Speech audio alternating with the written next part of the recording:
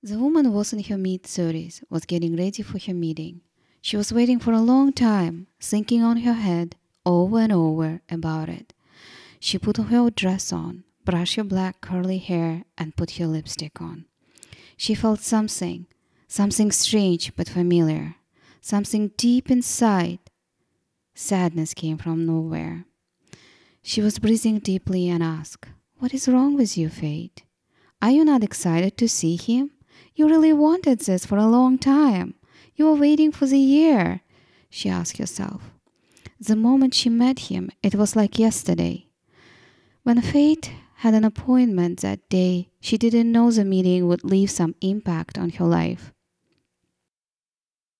As soon as she entered the room, the man, maybe in his 40s, just jumped up with the sudden entrance of fate. And for a moment he felt lost and say something.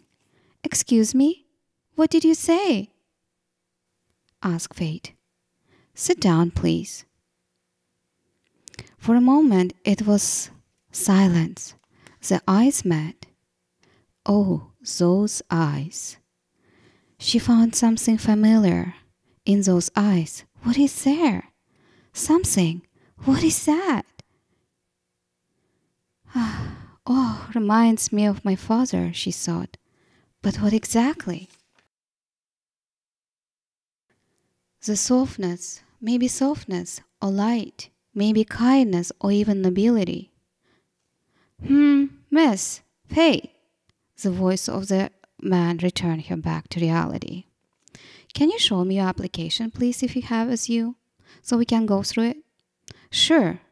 I have it in my purse, said uh, I have it in my phone, said Fate. She slowly reached for her purse and pulled out her phone. Suddenly, she dropped her phone from the loud sound on her head. That sound so real. But he didn't say anything. It was just his thoughts.